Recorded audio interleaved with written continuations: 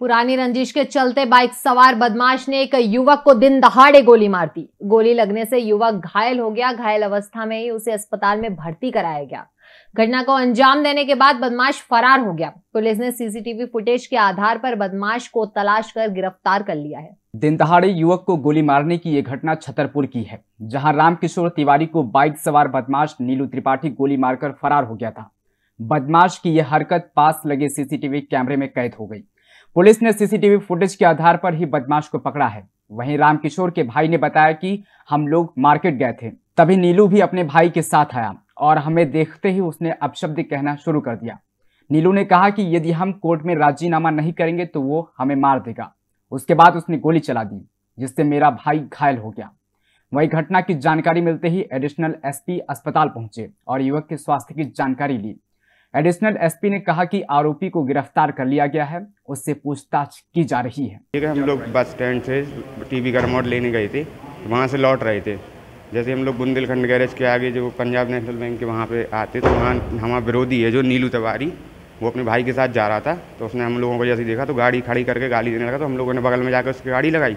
उससे पूछा कि भैया गाली क्यों दे रहे जी, वो तो बोला, वो राजीनामा नहीं करना है कहता मैं और राजीनामा कर लूँ, नहीं तो बोले, कहा तो अब एक, दोनों जन को सरका दे यहीं पे। ऐसे ही उसने सीधे पिस्टल निकाली और फायरिंग करना चालू कर दी। तो हमारे भाई को गोली लग गई। ये कुछ देर पहले इन्फॉर्मेशन हमारे पास आई थी कि पंजाब नेशनल बैंक जो पठापुर रोड में है, वहाँ किसी पे फायर किया गया है। इमीडिएट हमारे थाना प्रभारी कोतवाली अरविंद दांगी अपनी टीम के साथ पहुँचे और इसको ला के हॉस्पिटलाइज कराए कंडीशन अभी स्टेबल है। उसके स्टेटमेंट लिए जा रहे हैं।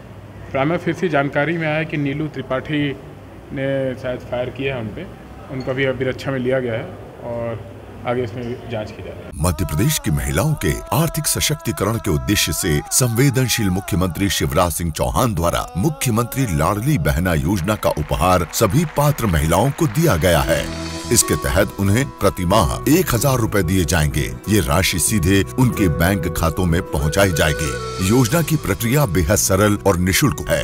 योजना से जुड़ने के लिए बहनों को कहीं भटकने की आवश्यकता भी नहीं है। दस जून को पहली किस्त बहनों के खाते में आ जाएगी एक हज़ार रुपया की पहली किस्त। योजना से जुड़ी अधिक जानकारी helpline number zero seven double five two seven double zero eight double zero एवं website C M Ladli Bahna dot M P dot G O V dot in आरोप प्राप्त की जा सकती है। चलो लाडली बहना। वो खबरें जो आपके काम की है। वो खबरें जो आपके लिए ज़रूरी है। हर आम और खास से जुड़े मसले। हर मसले का सटीक विश्लेषण। हम करते हैं सत्य का अन्वेषण। दखल न्यूज़। आपके हक में। आप देख रहे हैं दखल न्यूज़।